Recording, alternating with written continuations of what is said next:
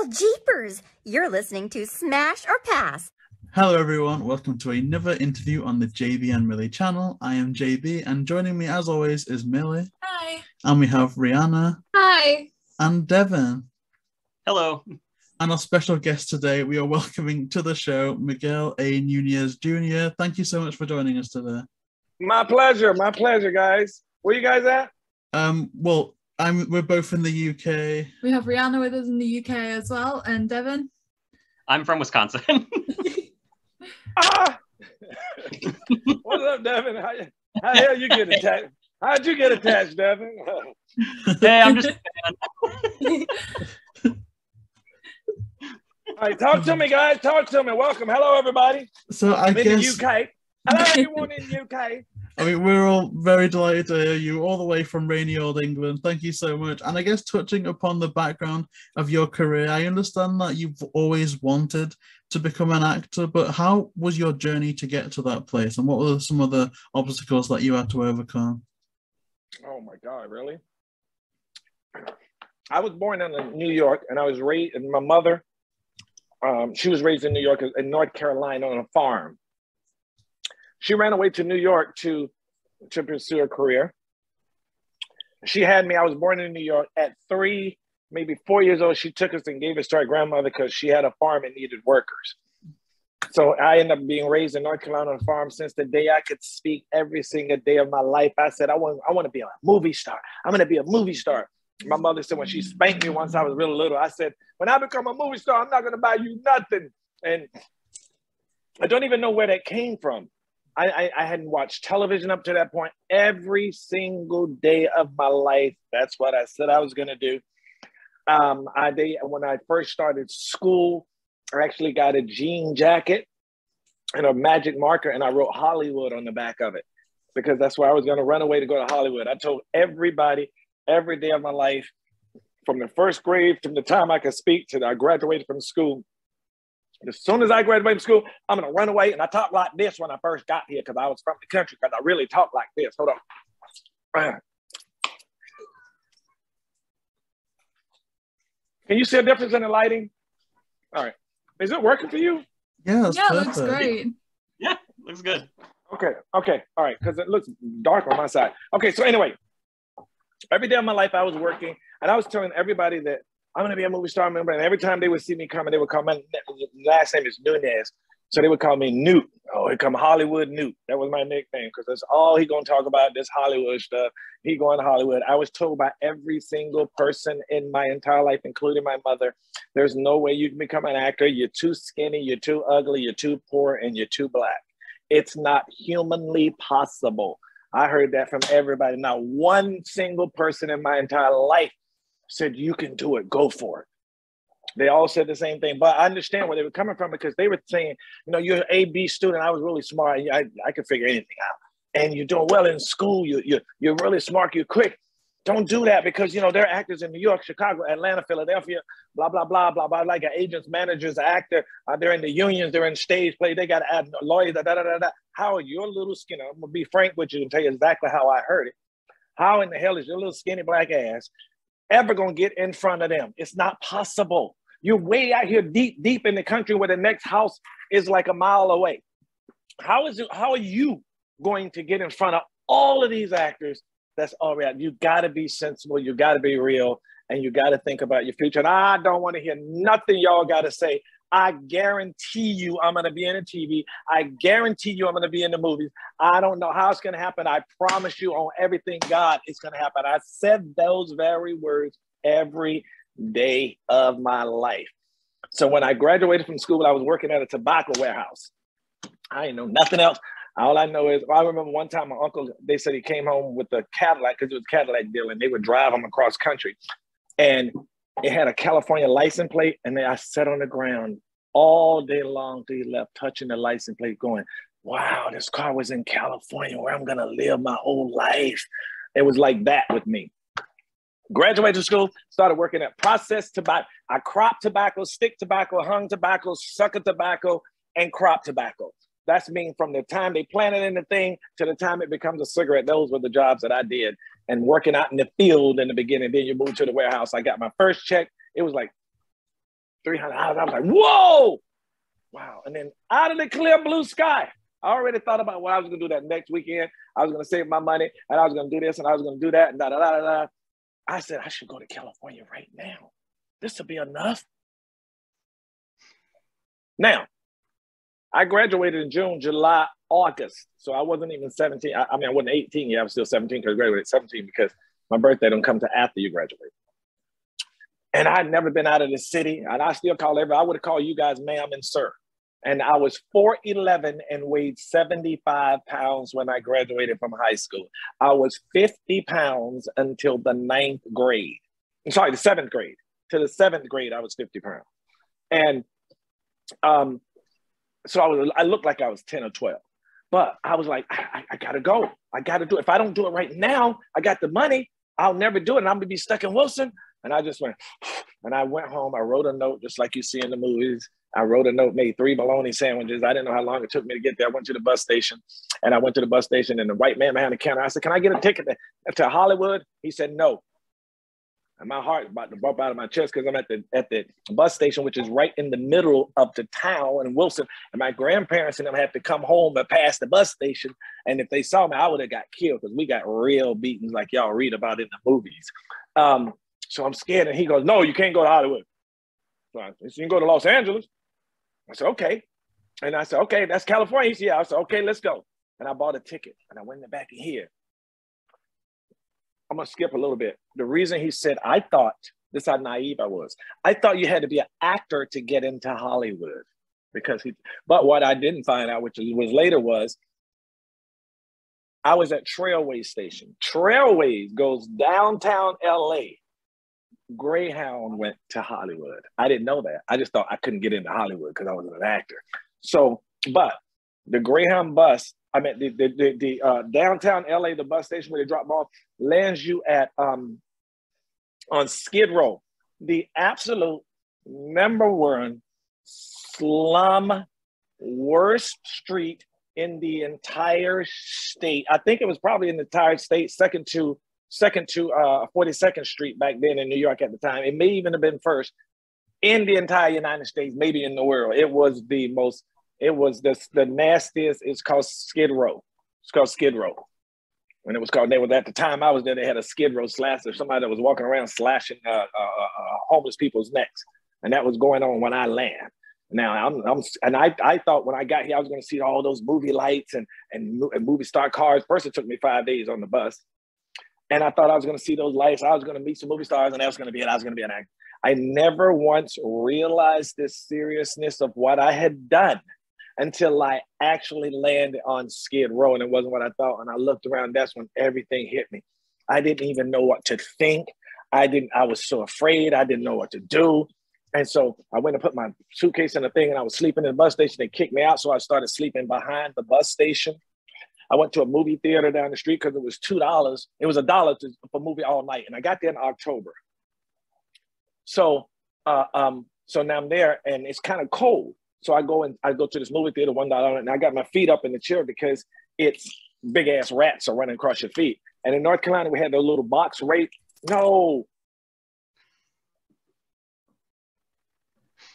Okay. I should have put my uh, do. I should have put do not disturb sign. I had the little box razors. You pop a razor out and they cut boxes open in the supermarket. We kept those in our pocket. So I had mine in my hand like this. And this is God's way of taking care of me early. And there was a head in the movie theater all the way down close to the three, screen. Seemed like every time I would wake up, it was closer and closer. And at the last minute, some big nasty ass bum sitting next to me. I popped my razor on him.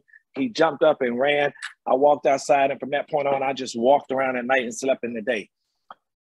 And like I said, I went weeks, and to this day, I can't even tell you. I didn't know what to think. I was raised on a farm. I was raised on, yes, ma'am, yes, sir. You get up in the morning, you go to breakfast, you go to school, you're in the home, you're in the bed by 11, 10, 11 o'clock. Matter of fact, 11, that's not even possible. I mean, I had graduated from school, still had to be in the bed, in the house before sundown. That's the kind of family we grew up in, the shit you read about in, in, in movies. And my grandparents were preachers too. And so I, I, I just walked around. I never knew you could literally walk around sleeping while you sleep while you was walking. I didn't know that was possible. I thought that was only in the movies. One day I'm on, on I'm sleeping in a park bench. It's raining outside, and like I said, I look like a child, and I'm sleeping under the bench because it was raining. The guy was like, "Hey, what are you doing here?" Why are you doing the street, little, little, little? He thought I was a kid. And he was like, tell him, my name Miguel Nunez. I came off, my name Miguel Nunez. I'm from 640 Cemetery Street, Wilson, North Carolina. I came here to be an actor. And he was like, oh God. And I always wondered why everybody was like, oh God. So anyway, he told me, don't, don't sleep in the street. Go to the Union Rescue Mission. If you go to the Union Rescue Mission now, it's a huge multi-million dollar facility to an amazing Jewish couple that died and left them to it. And it's saving millions and millions of lives.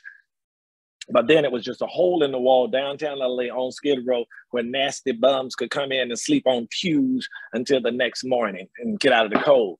If you get there before seven, so at least I was inside and I wake up there on man, it was funky and I'd wake up scratching and found that I was covered in lice. They take you downstairs, they spray you with poison and they wash your clothes and and they give you beans with, that were still hard. I mean, right now they live, they get the whole spread, the homeless folks at the new mission. And there's a picture of me, are other people that have graduated there. So anyway, I used to go around and I would, I, I, I had no money to eat. So I would sell my blood plasma to eat. You go downstairs, you sell your blood plasma and uh, uh, uh, uh, you can do it twice a week. And then back, it's probably a lot more now, but back then it was like seven dollars if you sell your blood plasma, and then they give you seven dollars. But at least I could go get me like a they had a Popeyes chicken meal. Uh, um, it was called Church's, but out here then or go to the Hyatt Regency wishing well and steal coins out of the wishing well. I, I couldn't get a job, uh, name, uh, my name, uh, address, and there, uh, a phone number, and didn't have one. Uh, experience, uh, nothing. I couldn't get an ad. I couldn't get a call back. I didn't know what to do. I ended up jumping on trucks and delivering those little annoying papers, sticking them in people's door, um, and worked from eight to six, and they give you like twenty dollars, but at least it was something. And and um, so anyway, um, uh, I end up getting a job. Finally, I got on welfare. And then welfare got me a job at Ranchos Los Amigos Hospital in Downey, California as a physical therapist technician assistant under the CEDAR program. That was just the welfare program. Instead of giving people free food and money, we're going to put you on county facilities to work and give you a check.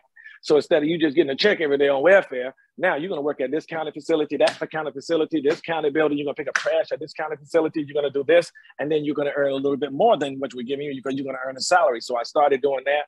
Worked two years, saved up my money. I said, "This is not what I wanted to do. I came here to be an actor."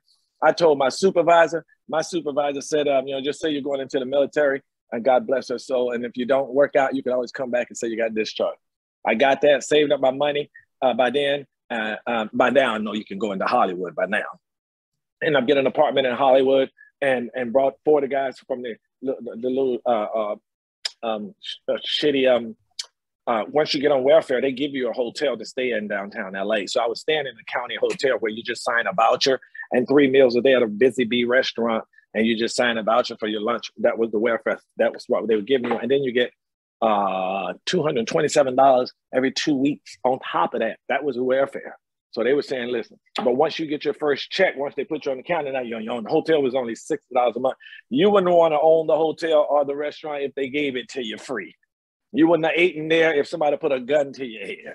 But to me, it was the Hilton, and I don't care what that restaurant looked like. They were shooting the rat away while they cook it. I don't care. I, it was food. Um, so I ended up doing that, right? And now one day I'm on a, and I said, listen, so I paid my rent up, right? Now I'm on a bus and there's some guy like this. And I said, hey, what you doing? He said, I'm an actor. I said, hi, my name is Gail Nunez. I'm 640 Cemetery Street, Wilson, North Carolina. I came out here to be an actor. Da, da, da. And he goes, da, da, da. I said, well, what is that? He said, this is a resume. You're going to have to hear, take this. You have to get a resume. You know, da, da, da. what else? And then you're going to get an agent, blah, blah, blah, blah, blah, blah. And what is this she going on? It's called a cattle call. You know, it's for Gino's restaurant, blah, blah, blah. I see him get out and I look in, the, in over in the park and I see cameras. And so I go to the next, I get off on the next stop and I go to a copy place and that little resume thing he gave me, I write his name out and put my name in it, went back to the park. I got in line and I got the lead in that Gino's restaurant commercial. I didn't have an agent. He ended up taking me back to his agent when he found out I got it. He was still there. And I'm just making a long story short. Cause and so anyway, I ended up going to his agent, and then his agent said, oh, "My name is Miguel Nunez, with North Carolina, da, so you have to work on your accent, but of course I'm gonna sign you because I like you." And then from that point on, I think the next 50 auditions he sent me on, I probably got 47 of them. And then I was on tour of duty in 1987. And I got here in 80. So seven years later, I was on network TV series tour of duty on And that was from never having anybody tell you you can or you can't do something. Don't let anybody tell you you're capable, what you are capable or not capable of. And never take no for an answer. And I'll give you an example. Once I was there, I was like, I want to go into Universal Studio Tour and I want to walk all around the stages and I want to uh, see how they do it and just look. And I can learn that way. And they was like, man, shut up. They, they ain't gonna let you walk in there and walk around on the studio. You can take the Universal Studio tour. They can show you how to do that. I'm like, I don't want to do that. I want to see the real actors. They're not gonna let you do it. No, I ain't paying no attention to him. So I take my little skinny ass down to Universal. I walk up to that gate. I hi, my name is Miguel Nunez. I'm 640 Cemetery Street, Winston, North Carolina. I came here to be an actor, and I won't get in nobody's way. I just want to see and learn how to do it. And, and, and he was like, man, get your ass out of here. You can't come in here and get your skinny ass out of here. I didn't understand. He won't let you, and you can't. Those things never computed to me because there's always a way. So I said, okay. So I went up, saved my money, sold my blood plasma. I went, saved my money, I went and took the Universal Studio tour. And on the Universal Studio tour, there's a part of the tour where everybody gets off and they say, okay, everybody line up over here. Okay. Everybody line up against the wall over here. Now, we're going to go into here and we're going to show you how they make movies. It's, these are actors, and you're going to, but you will get a sense of how it's done, blah, blah, blah, blah. And the, the trams are going to pick us up on the other side. So we're going to walk through. All right, come on, come on, come this way, come this way, come this way, come this way. While everybody was coming this way, coming this way, I was going that way, going that way. And I went the other way and walked around the studios, and they were shooting all these big movies. And I just went up to the top, and I would sit down and I would just watch all day. And I found out the last one left at 5:30. So I knew what time I had to be back and just get back in line and take the last one on out. And I did exactly what I said I wanted to do. I learned a lot. I did exactly what all my they Tim telling me they are not gonna let you. I did exactly what the guy at the gate saying you cannot do. I did it. There's always a way. Don't ever feel that you are bound by what somebody say you capable. Somebody told me every time you skinny, uh, I didn't get mad. I like, okay, cool. It fueled me. Let it fuel you. You know what you are. Whatever that passion is that you have inside, the thing that you have inside that that you would do even if it was for free. That's what you got to think. If you got that kind of passion, I would do this if it was free. If somebody say, listen, we ain't got no money, but we want you to star in the next Star Wars. You don't think I'm to do it? That's what it is. And you can't let nobody stop you. You can't let anybody tell you what you can or cannot do. If you ever want to see me homeless, living in the street, this little skinny person I'm telling you about, look at a movie called Jumping Jack Flash. In the movie Jumping Jack Flash, when they were shooting this movie, I was homeless living downtown on the street. And I used to steal food off of the truck because they had all this food in the parking lot. You know how they're moving food, all this food. And they were like, yeah, yeah, shoot, shoot. And one day I was like, the producers, hey, hey, leave him alone. And the producer's name is Joel Silver, one of the biggest producers in the business at the time, still to this day. And um, did all the Predators and everything, uh, Die Hards. And, and I was like, he was like, hey, hi, my name is Gavin Nunez, M640 Cemetery Street. I'm coming from Wilson. I came in here being actor. Da, da, da. He's all right, all right, let, let him eat, let him let him I ain't got nowhere to stay. I'm living down here right by the bus station. Nah, nah, nah, I'm sorry, the, the Ford Hotel, 1007 East 1007 East 7th Street, Ford Hotel. He said, you know what, let him eat. So he would let me eat. And one day he goes, you know what? Come here, come here. I'm gonna put you in this scene. So now, the next time you watch Jumping Jack Flash, there's a scene where Whoopi Goldberg first gets, she gets dressed up for the first time in the movie. And she has a dress on and she's going to see Jumping Jack Flash. The next time you watch that, when she starts walking down the sidewalk, Joel Silver's over here. He's like, go. And I walk in, I went, hey, baby, what you doing? You are cute. She's get your get your skinny ass out of here. And that's me. And you'll see me. And then you can see me at that particular time.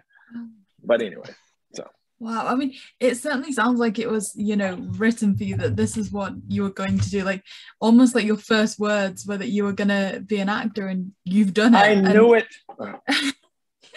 and so I know you said that like you knew it before you'd even really sat and watched TV and watched actors, but do you remember ever watching, you know, when you did first watch, you know, televisions, movies, things like that, seeing any actors that you're like, okay, they inspire me. That's the kind of performance I wanted or anything like that? I grew up in the country. I grew up 97% of my entire life, childhood outside. I remember distinctly, I don't remember any movies, any TV shows, any actors, none of those. We had not one, not one. The, uh, the first TV show I, wa- I remember watching, first movie I remember watching, and you can look up the date of it, um, see how old I was. I mean, we watched Flintstones. Now that's, we watched the Flintstones. I watched cartoons until even when I came to California, uh, uh, until I was 30, all I watched was cartoons all day long. To this day, all I watch is Family Guy. But, but, but, especially on TV. Um, I, I had no none. I remember distinctly coming doing exactly like this, as if you're because I was raised. My grandparents took my brothers. I have seven brothers. So each, as soon as they got three, gave my grandmothers. Next one gave my grandmother, and we had five aunts living there. And all they did was read books and watch TV. I did just like this.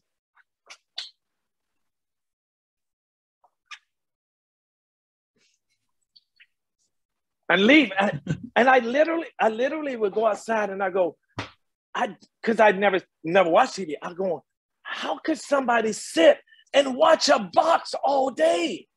I literally did not understand it. I literally said those words in my lifetime on at least three or four different occasions, watching people watch TV, going, "What is this? What is? How can? What is this? What is thing? What is on there? What may, What are you guys watching? How can you sit here all day and watch this thing?" I literally was that amazed at people not even understanding. I want to be an actor and people watch me. Never, none of that crossed me. I'll be outside uh, of doing like, and my friend, one of my friends I went to school with, he just reminded me. He said, "You remember you used to do this thing every time we were together. You were like when we were little. You were like, okay, guys, I want to stop. Okay, now here is a person first discovering matches, and you would do this thing, and I would do all this stupid acting every time we get together. That's all they remember. I didn't have a favorite actor, none of that. Never had any actor that I saw. I could, I could even tell you none of that. It was already in here. That's all I can say. It was already in there. I knew it every single thing I said, exactly what happened. And you can't call it because that's what the Bible says anyway. If you say it enough times, it'll happen. Try, promise you, try it.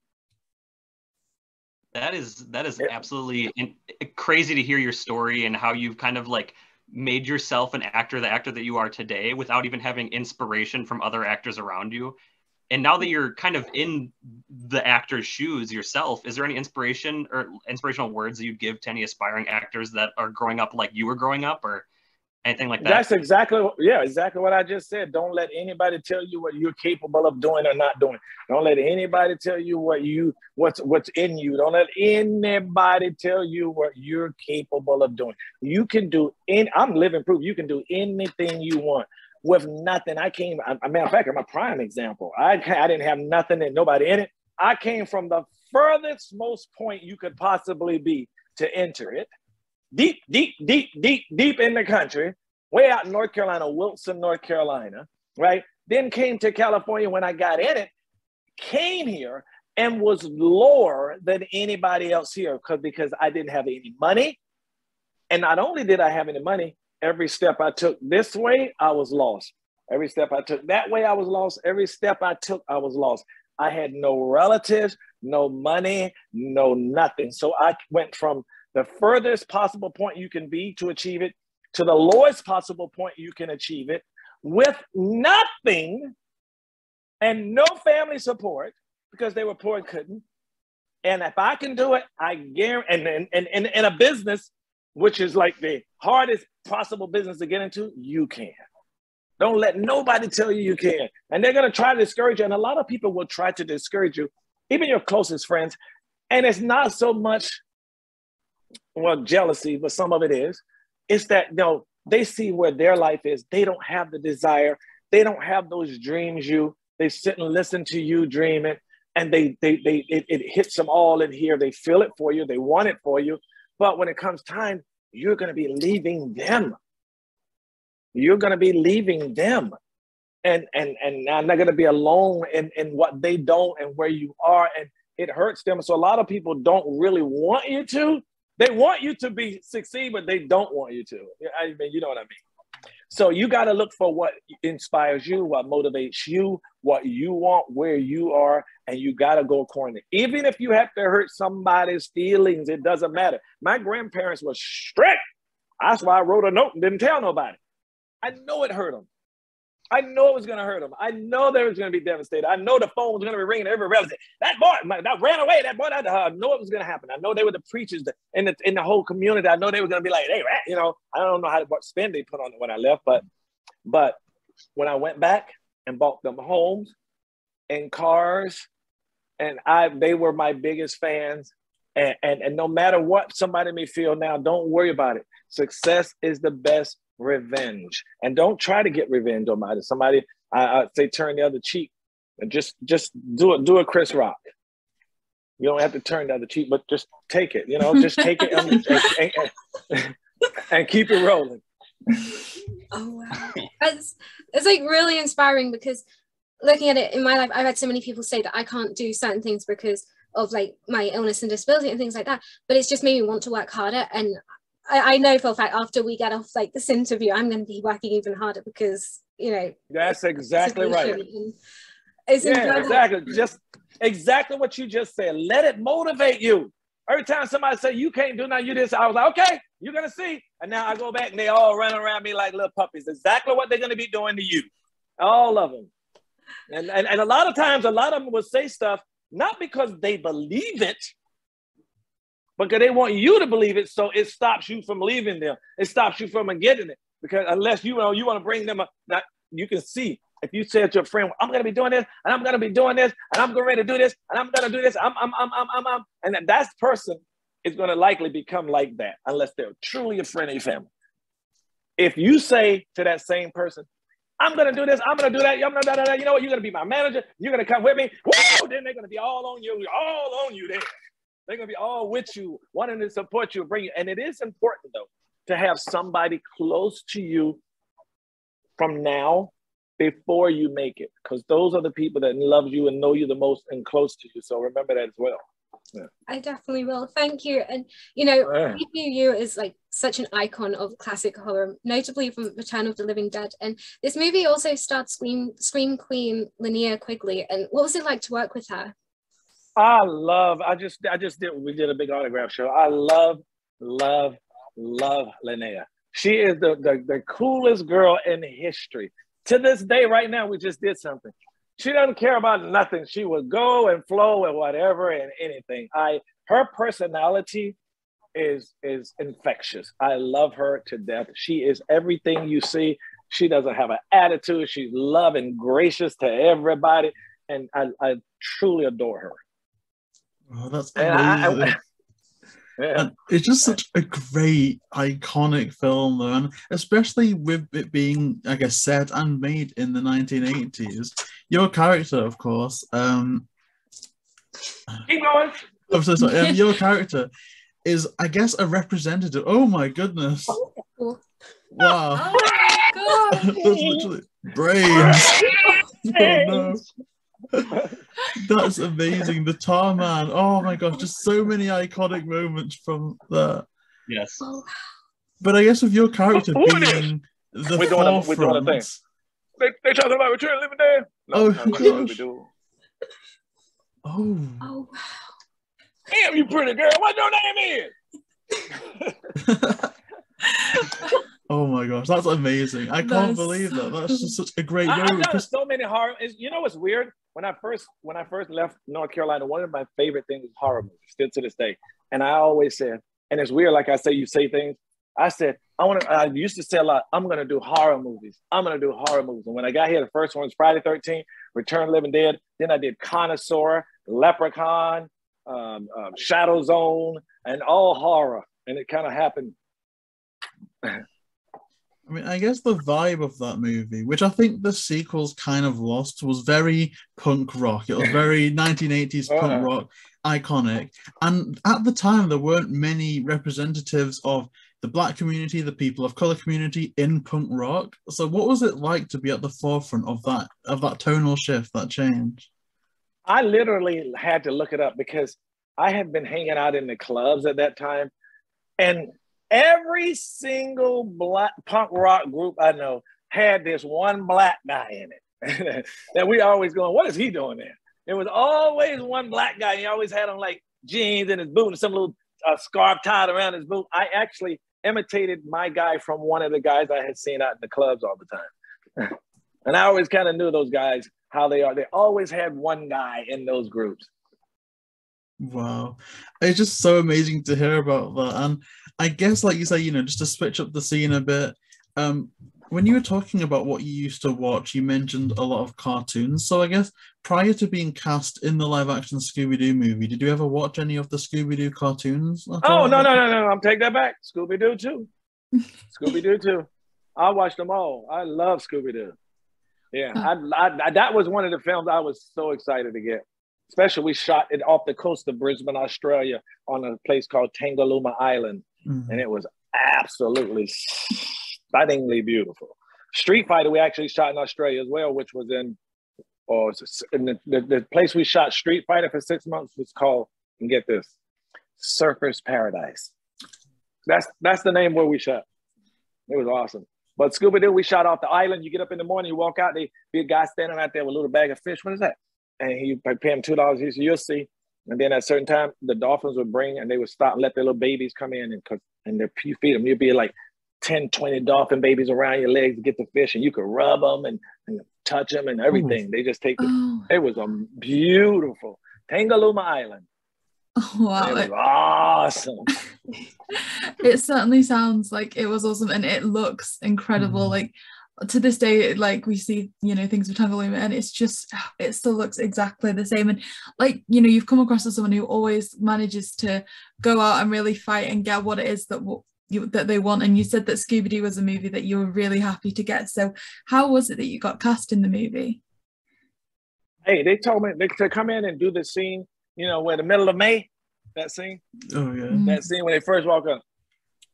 And um and and everything I, I remember some of the stuff that you saw in the film I added. I think that um um and the way I did it when with the chicken and everything, they said they want you to do it. So I was I just went in and just put it out. I was like, so what am I sacrificing? The chicken? I said, okay, I can just have fun with it. He said, all right, just have fun. I went, yeah, yeah, yeah, I just did, they did exactly what you did.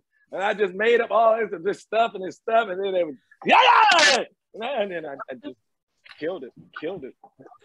Oh gosh. Well, oh, uh, I mean, uh, it was so great. It's great that they kind of just gave you that scene, like you say, you got to put your personality into it, and I think that comes through in the movie so well as all the character is just, like you say, that scene. It's just so fun to watch back. It really is. And you're talking about I love the whole movie yeah oh, the yes. entire movie is amazing. But so you're talking about tangalooma what was it like to go and shoot there? Because like you say you know you i guess you know you'd never been to la and hollywood before and you were just so you know confident and incredible to make that journey on your own and do that kind of thing. And then traveling all the way out to australia as well. Like what was that process like? And how long were you there for on the movie? For the movie i think i was in uh, uh for scooby-doo it was i think maybe three months and for uh, a Street Fighter, it was about four months, five months. But it was to me, because you got to remember, everything I've ever done, all the big movies, everybody's like, so what do you think about him? Every movie I've ever done, even with the big stars in every film, I never really looked at them twice, never even gave them a time of day. I was never one of those actors like this. I never really even, hey, how you doing? What's your name? Mel Gibson. Hey, that's right. You're the star of this. All right, okay, good. All right. Anyway, and keep rolling. I wouldn't even stand there and talk to him like everybody would.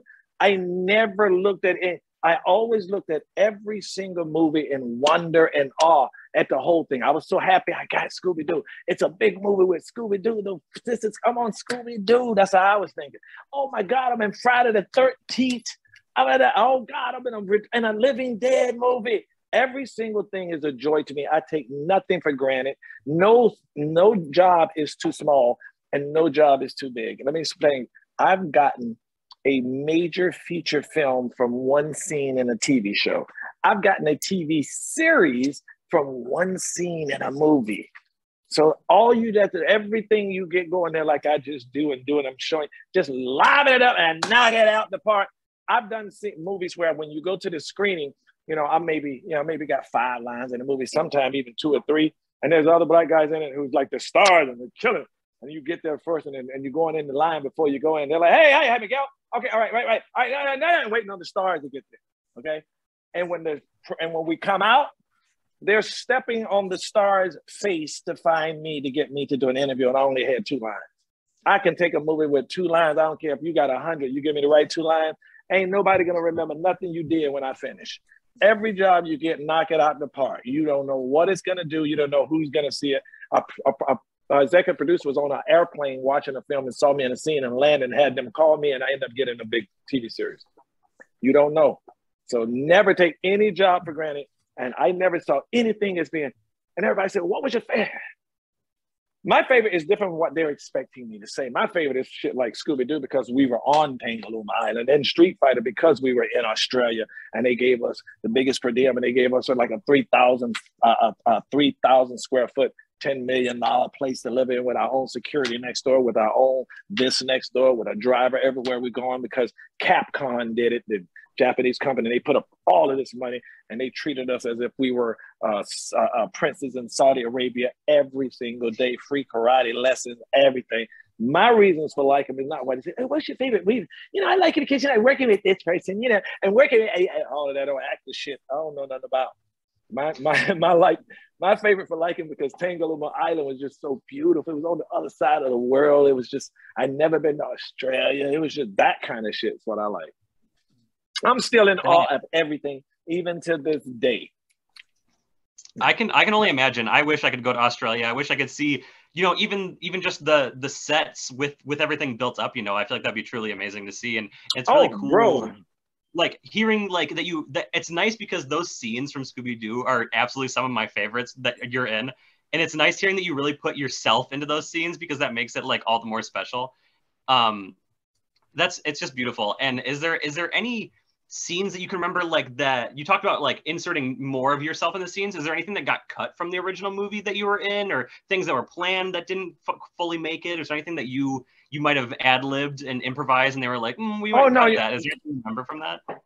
No but there were some scenes cut but there were some scenes cuts from everyone but it wasn't because of the, what i said or didn't say. It was because of the because of uh, uh the at the time because they had a lot of stuff in there. So it wasn't anything i said because pretty much everything I, I said got in but I, you were saying something about how much when I remember this when we were pulling in, we flew to they flew us into Brisbane and put us up at the hotel uh, for one for 24 hours because the flight was so long. The next morning, then we boarded this big yacht, and the yacht drives takes us 45 minutes, maybe an hour 45 to get to Tangalooma Island.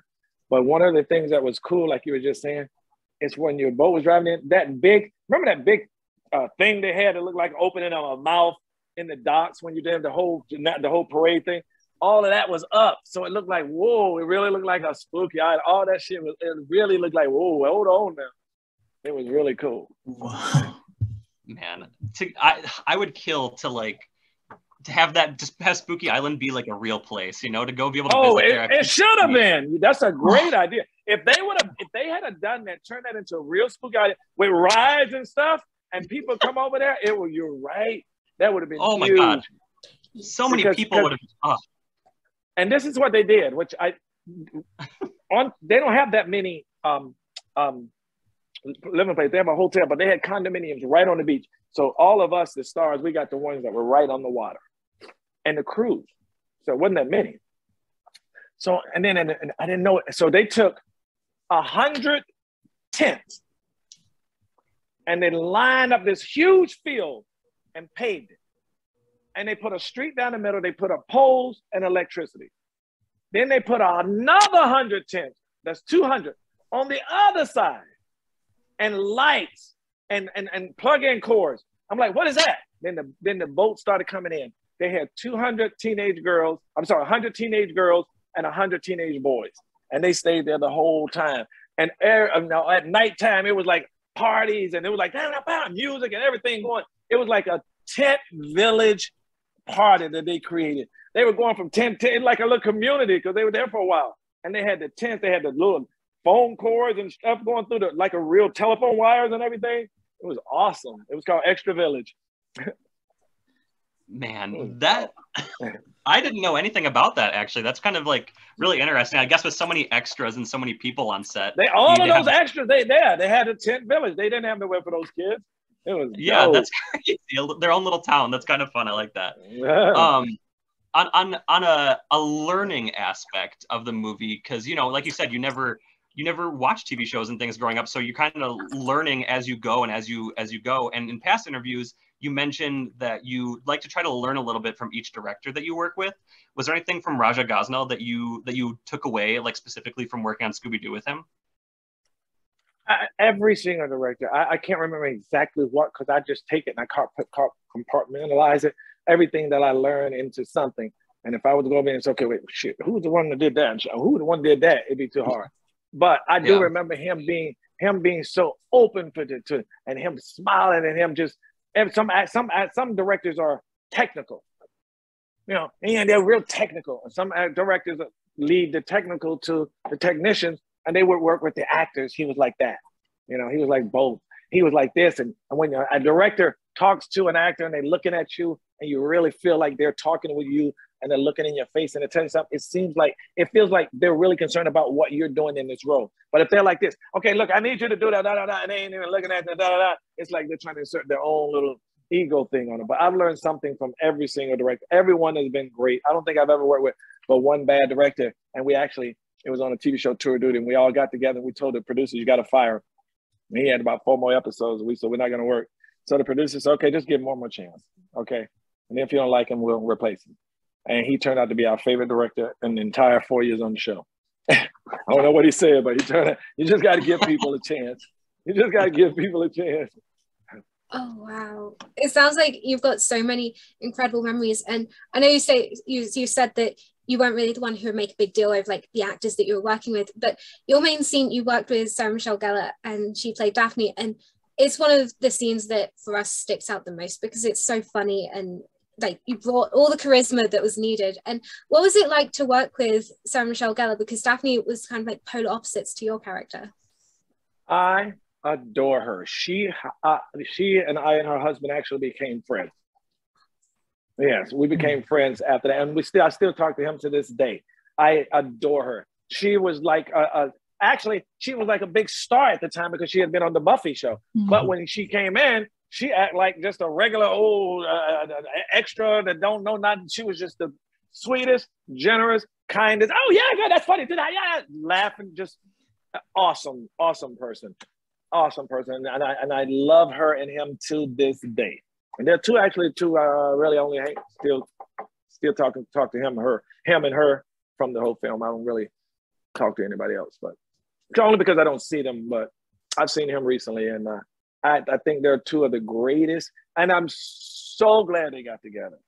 I knew it was going to happen, Yes. and I said if they get together, they're going to be married forever. Oh yeah. Yes. Yeah, you never see them out in the press trying to get some TikTok news. You never see them in it doing anything. They just living their life, living, loving, and with them and their family. And Oh. Oh gosh, that is so true. Like that's just amazing. It's so great to hear you say that. And I oh, guess Oh, kind of moving on, like you say that you don't really speak with anyone else that was involved in that movie. But in terms of your time there, did you do you have a favorite memory that stands out to you the most from working on the Scooby Doo movie? Uh, my favorite time was, well, I guess it would have to be shit. I had so many favorite times working on that movie. It had to be with the Dolphins and the scene with me, and the first scene with me and Daphne on the thing because it was just me and her and the whole crew on me and her, and we were just sitting there coming up with all this stuff. Yeah, yeah, yeah. Oh, no, no, that's funny. Do that one we did the first time when you went, yeah, yeah, yeah. and then all of that stuff. That had to be my favorite day because like it felt like the whole crew was there for you. You and that, you know, the whole crew is right there, and really at that particular point they are. So that was probably one of my favorite days. I mean, your character, like you say, kind of going through different ways of presenting the lines and what you're doing, but there's so many lines from there that's memorable, like um, you know, working out when the chicken didn't have a head and stuff like that. It's so funny. And your character was presented to have all these wonderful kind of thoughts and theories about what was going on on the island and how to stop being possessed by the demons. And yours was one of the only characters that didn't get possessed. So was it ever discussed that maybe these you know theories and you know the thing with the chicken and things actually worked? Well you know what? The director actually said that but i think he i think he mentioned something like that because I wanted to. I'm like, why can't I get like like that? and he was like, no, you're a voodoo. They won't come near you. That's what he said. No, you're voodoo. They're not gonna come near you. I wanted to do that. I wanted to go, wow. You know, I wanted to do that. and you also here, so like we said, we have this kind of the earlier scenes where they're trying to work out what's going on on the island, but you're also in one of the last scenes as well, where um the where they're trying to explain the mystery to the reporters and kind of what happened. Was that one of the last scenes to film it? Was that what was that? That like? was, was the last. Like... No, yeah, that was the last scene, and it's so weird because they had me come right out in front. I'm like, oh shit, okay. And I can't remember we all lined up when we yeah. went to yeah. them when it came up. I, that was the that was the last that was the last shot, and I do remember that. Was, everybody was happy that shot. Everybody who was in it was happy because you know this is the last shot. I'm in it. You know, it feels like thinking. a nice conclusion to kind of bring everyone yeah. together for the last scene. Absolutely, absolutely. That's the director. Speaking of the the very last scene in the movie and also like the cool sets and props and everything that you got to be surrounded with the entire time you were in australia did you by chance get to take anything home with you any cool props the, any special uh, i it's so funny you say that i take something from almost damn every movie I, I i've been on i got some good shit but the only thing I wanted, he would not give. He kept saying he was going to give it to me. The director, he kept saying he was going to give it to me. And then at the last minute, he didn't. So I didn't worry about nothing there because it was all I wanted. So it was too late to claim something because they always give that shit away, most of it. Um, and the Arnuki Beast. I knew you were gonna say that. Yeah, and the oh. production designer said that he wanted the same thing as well, but he didn't. He didn't get to get it oh, uh, either. So there was so many I people. Wanted that Where did it go? I don't know who got. I think the director got it. God, I wanted that Arnuki beast so bad. Oh, Damn, I wanted it so, so cool. bad. It would have been. I kept saying, dude. I was like, dude, you can keep this part of money. You don't have to give me per day. I was like, everything. He was like, wait, just wait, wait. I didn't say no. I didn't say no. You gotta wait till the end of the movie in case we don't need it again. And then I think he ended up telling me, you know, you'll get it, but you know, just in case there's a pickup shot, which I know is all a lie. Now that I know I'm a producer, I know that was a lie, but yeah, I really wanted that. I'm disappointed for you. yeah. yeah, good. now that it's like the 20th anniversary, hopefully, like maybe they could just like surprise you and send send you like a replica or something. We, we need to find do you. you do you hear them, Universal? send me the Arnuki Beast. oh. So once the movie came out, did you attend the premiere? Absolutely. 100%. Absolutely. I went I went straight straight away. Of course. Um, and you're of course well known for a number of roles, but have you ever been exclusively recognized for the Voodoo Maestro? Oh, 100%. Lots of times with children you know something, and it always freaks me out. I'm like, he was in Scooby Doo. I'm like, how, I'm like, it always amazes me that they know because my hair was different. A lots of times, like a lot of people recognize Scooby Doo. Lots. Wow. And it always surprises me because of the hair difference. A lot of people say it's your voice. This mm. is the hmm. voice. I mean, it's so cool because a lot of people that you kind of speak to, it's like they're always known for that one thing that stood the test of time. But with you, there's so many things that it's like 20 years later, 25 years later, it's still held up. And I guess in regards to Scooby, what does it feel like to be part of that movie that people still love, you know, currently now, even celebrating its 20th anniversary? It's so weird because I've been fortunate and blessed enough that, like, um, or Return the Living Dead to be in a film that's lasts so long and has stood the test of time. Um, um, uh, franchises like Friday the 13th and and and and and and, and classic uh, shows that we grew, all grew up with for our entire life, Scooby Doo, to be a part of those. Those are it's just a blessing. I just I think it's a blessing. I just think it's something that I said was gonna happen back then. Like I saw when I was in I saw from where I was in North Carolina to where I am right now. And that's how you got to be. You see where you want to be. All the stuff in the middle part, I never even considered. I knew whatever happens to get to where I'm going to be, I know I'm going to be. whatever it is, it's gonna work out, and I'm gonna make it work out. It has to, because if if if it don't work out, I'm not gonna get there. I only looked at from where I was. That's why I jumped in to California with no money, no food, no no, no where to stay. Not even thinking, I don't do this. It's stupid. But and, and I didn't have, I didn't think about anything. I never had this. It was ignorant to, to go out without even thinking about well, where you're gonna go, where you're gonna go, what you're gonna do, where you're gonna sleep, where you're gonna eat. I ain't never gave. I saw the finish line. I saw the finish line, and whatever the hell is gonna happen in between to getting to there, I'm gonna make it happen because I know that's gonna happen, and that's how you gotta do it. Well, I mean that's fantastic, and this has just been an incredible time speaking with you. And I suppose we've spoken an awful lot about what you've done in the past, but I guess just briefly touching upon what you have coming up or what you're doing currently. Like, do you have any upcoming projects that you can share with us? I, yeah, I'm currently on a um, I'm currently on a TV show here in the States. It's called The Family Business. It's a gangster show. We're doing, I've just finished our fourth season. I've been on it now for the last three seasons. You can watch it on BET Plus. You can download the BET Plus and watch all three years. Fourth season is about to start. It's on the BET network, and um, it's a drama show. So I've been on that for excuse me the last four years. I've done a couple of independent films. Hopefully, I'll be announcing a new horror movie soon. So it's something's really really good coming up, and I will let you know. That's amazing. And is and make any- sure you follow me. Follow me at M Nunez Jr. You guys put my uh, Instagram up. We Oh, will. yeah, we'll make sure that all the links to your social medias and things are in the description below for people to go and Oh, follow. okay. Well, there so- you go. There you go. so that way people need to go and follow that. That way they can stay up to date with all the upcoming. And I wanna come over there when I'm in- And when I'm in the UK, I'm gonna check you guys out. I'm gonna, I'm gonna call you guys up because I may be going soon. Oh, Oh, that's incredible. I mean, fingers crossed for Yeah. that. That's like a hurricane. Y'all about half take me out. Y'all gotta take me out. Yes, we Yeah. do. That would be amazing. Yeah, we'll, we'll give you a tour of the place. It may be it may be before Christmas, so so tech, tech, let, I'll stay in touch and, we'll, and I'll let you know. Oh, oh thank you that's so so much. That Thank you. is so incredible, and thank you so much for the time that you've given us mm-hmm. today because you've been so generous with it, and we And just we can do it again speaking too, you guys. Okay. Oh, we would absolutely love to. Thank you so much. And I guess that kind of wraps things up on our end. You can find links for, of course, Rihanna and Devin in the description as well. And that concludes another interview on the JayBee and Milly channel. Please make sure to like, comment, and subscribe, and follow all the links in the description below.